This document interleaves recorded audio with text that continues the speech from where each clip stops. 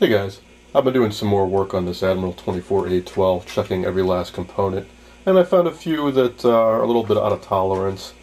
I don't have them in stock, so I'm going to place an order.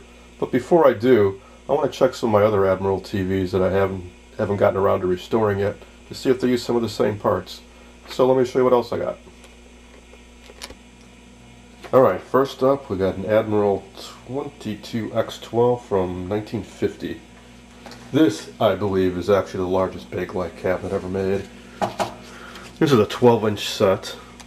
Uh, it also has a newer style controls instead of that row of four brass knobs like the other uh, set. This has two controls and what they call a pencil box with the other controls recessed behind here.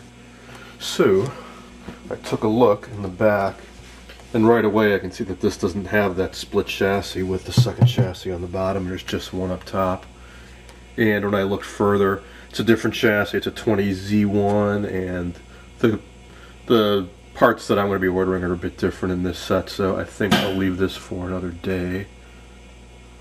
Which brings us to this guy which is a 30 A16 from 1948 which is a year older than the one I'm working on this has got this has kind of a cool finish they call a limed oak finish that was popular in the late 40s into the 50s.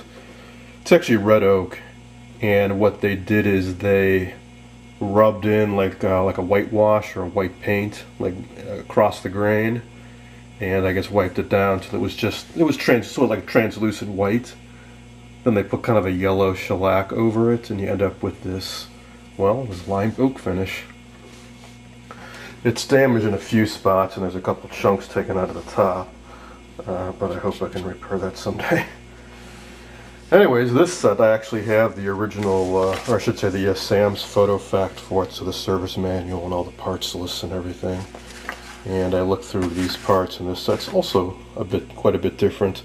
Although it does have a dual chassis, but this one's quite different. This has two power transformers and uh, the upper chassis is quite a bit different.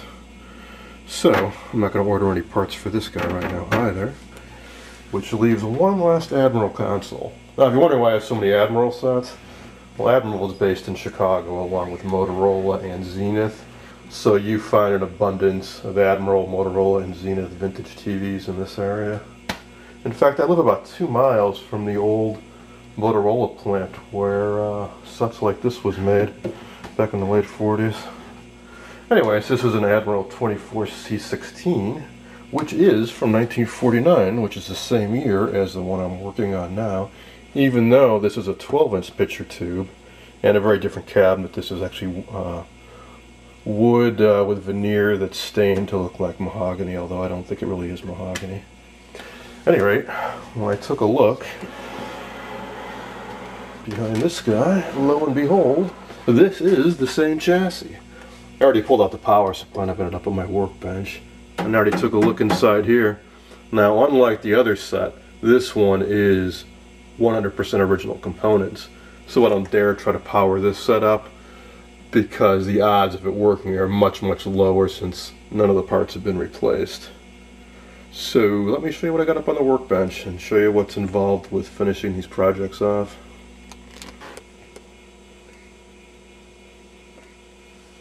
Okay, here's the power supplies from both of those sets. I'm going to work on them at the same time. While I'm working on one, I can use the other one for reference in case I screw up on something or can't remember how something was wired in originally. now this is the one for the Bakelite Admiral. I'm going to do this one first. If you recall from my earlier video, this was a rusted mess. Well, since then, I've stripped this down quite a bit. Normally I wouldn't go this far, you know, like removing the power transformer and the chokes and all that. But this chassis is quite simple to work on like I said, the benefit of that split chassis is the power supply and the audio amp. Very, very easy to work on. I've already recapped this. I found some pretty nasty capacitors down there too, so it's a good thing I did. There's some of them down here. Now you've heard me go on and on about capacitors and why every restorer tells you you got to replace them. Well, look at this guy. These capacitors were made from organic materials, paper and wax they will go bad. Whether they're sitting on a shelf, never used, or they've been used hard, they go bad. So I really wouldn't waste your money buying new old stock capacitors on eBay. They may be good now, but they're going to fail before too long, so buy new caps. As far as what kind of new caps to buy, well, you can look online. You'll see a lot of debate about it. Um, any capacitor you use that was manufactured recently is going to vastly exceed the specs of the original cap. So, you know, really it's a matter, I'd say, of personal preference and budget. Well, you'll see some arguments that if you're going to restore an American TV or radio, use American-made capacitors like these. These are called orange drops, um, originally made by Sprague or Sprague, which I believe is now part of Vishay. You can get them at Mouser Electronics, um, JustRadios.com, and plenty, plenty of other sites online.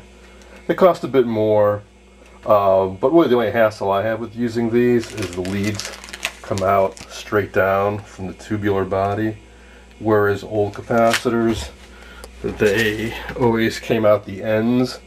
So when you replace something like this with something like this, you're going to have to bend these leads out so they go out to the well the, the axis of the capacitor.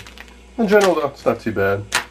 Another very common type you can usually get like a grab bag over these generic yellow guys.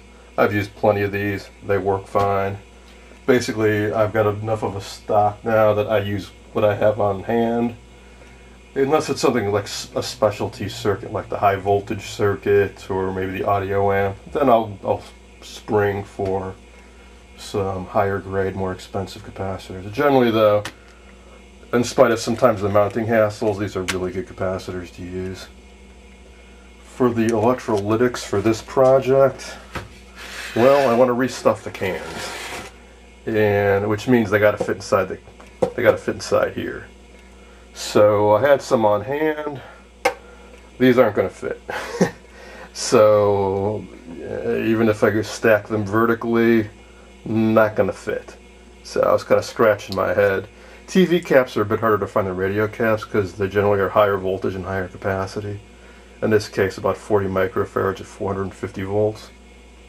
But I did my some searching online and I found that the same manufacturer has a line of skinny high capacity caps. Same capacity, same voltage, but about half the diameter. So these guys will fit nicely. I, uh, well, I had the power transformer off and filter chokes. I also polished this down. It was pretty grungy looking originally, like you can see over here, and pretty rusty. And the capacitor was really rusty. So this, I actually used some rust remover on it, sanded it down a bit, and then painted it with some flat black enamel, and I think it looks really sweet now.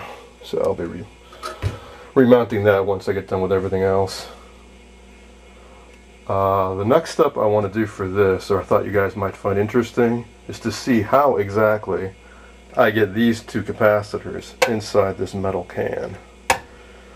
Um, now you could just leave the can in place, sure. Disconnect these two wires down below, wire in these two caps below, solder them in place, no problem. Nobody would ever know the difference unless they pull the chassis out.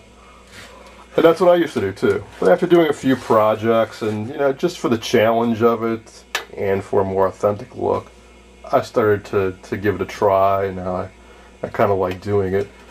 What I've done in the past though is I've actually removed the can before restuffing it. But uh, I've heard some guys online suggest that if you're careful, you can actually just leave the capacitor mounted to the chassis and work on it that way.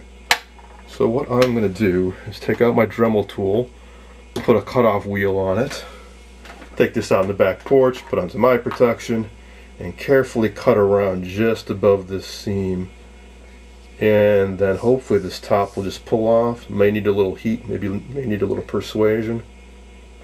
I gotta put the camera down while I'm doing that. I'll show you the results in a minute. Okay, out on the back porch, for those of you not familiar with it, this is the Dremel tool. Variable speed rotary tool with a variety of bits. In this case, it's a uh, an abrasive cutoff wheel.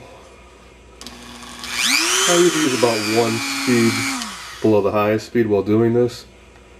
Don't have a tripod, so I gotta put the camera down while I'm doing this. Hang on.